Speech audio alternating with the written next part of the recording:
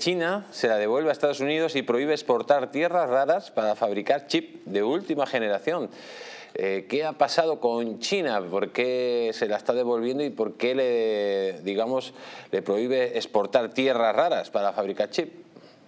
Porque los Estados Unidos no tienen tierras raras y es necesario para mantener la industria y también para que los aliados que todavía permanecen leales a Taiwán paren cualquier tipo de negociación con el gobierno de la isla. Aquí el avance de la discusión que hay sobre China como enemigo número uno de los Estados Unidos ha llegado a tal nivel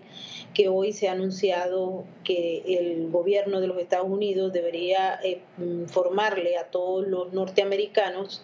que tengan mucho cuidado en viajar a China. Cuando esto se hace, bueno, lo recordamos que ha ocurrido en el caso de Nicaragua, en el caso de Venezuela, que son gobiernos absolutamente hostiles, así como también el de Corea del Norte o Rusia, en los que los ciudadanos norteamericanos pueden ser objeto de secuestro para luego producir o propiciar negociaciones y entrega de rehenes. Ya son las voces conservadoras las que lo están planteando, pero también muchos miembros de la administración de Joe Biden, que han visto cómo China se ha salido con la suya. También tuvimos la oportunidad de escuchar hace ya varios días atrás las declaraciones del secretario de Estado, Anthony Blinken,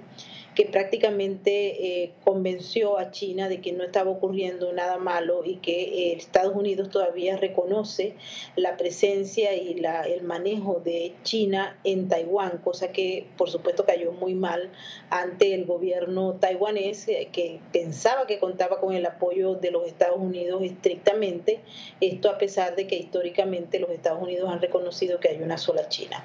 Hay también negaciones a Jesús en relación a los negocios que pueden hacer los chinos en los Estados Unidos y se está revisando todos los convenios de cooperación que hasta el momento se han firmado con el gigante asiático.